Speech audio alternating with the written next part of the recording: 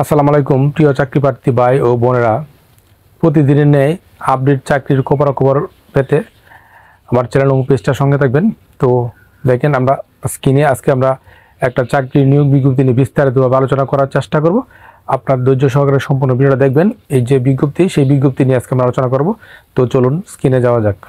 তো স্ক্রিনে দেখেন বিজ্ঞপ্তিটা। বিজ্ঞপ্তি কি বলা হয়েছে? Armed forces institute of pathology Dhaka সেনানিবাস। আজকে এই বিজ্ঞপ্তি নিয়ে আলোচনা করব। তো দেখেন বিজ্ঞপ্তিটা কি বলা হয়েছে?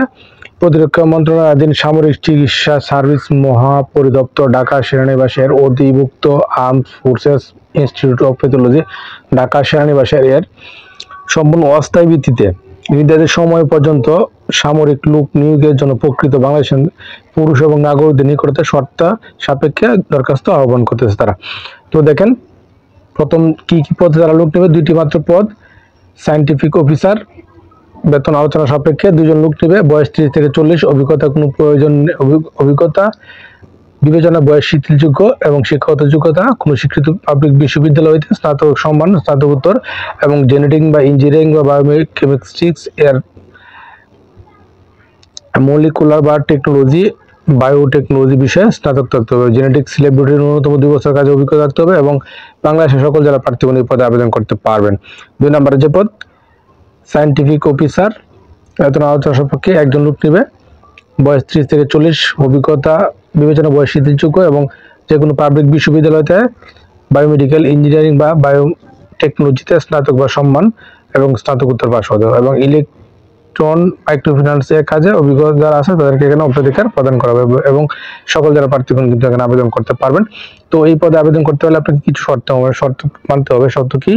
পুরুষ ও মহিলা উভয় প্রার্থী আবেদন করতে পারবেন এবং সেপ্টেম্বর, আগামী তিরিশে সেপ্টেম্বর দু হাজার চব্বিশ তারিখে প্রার্থীর বয়স তিরিশ থেকে চল্লিশ বছরের মধ্যে হতে হবে এবং সকল জেলা সকল প্রার্থীগণকে আগামী তিরিশে সেপ্টেম্বর দু হাজার চব্বিশ তারিখের মধ্যে commandant army forces institute of pathology, Dhaka সেনানিবাস, এই ঠিকানা, ডাকযোগের সকল শিক্ষাগত যোগ্যতা ও সনদপত্র ফটোগ্রাফি সহ আবেদনপত্র দাখিল করতে হবে।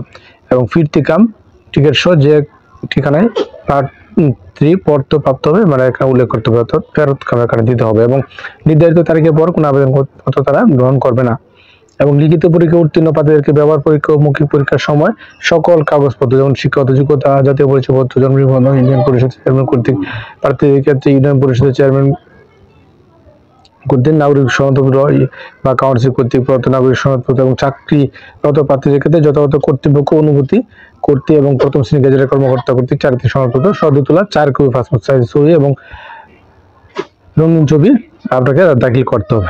শিক্ষাগত যোগ্যতা সহ অন্যান্য নথিপত্র যাচাই বাছাই করতে লিখিত পরীক্ষা, তারিখ, পর পার্বত ডাকযোগ এবং মুঠোফোনের মাধ্যমে আপনাকে এস অথবা এস এর মাধ্যমে আপনাকে জানিয়ে দেওয়া হবে। তো আশা করি বিষয়টা বুঝতে পারছেন। আর এইরকম প্রতিদিন চাকরির খবর খবর পেতে আমার চ্যানেল প্লেস্টার সঙ্গে থাকবেন। ধন্যবাদ সবাইকে।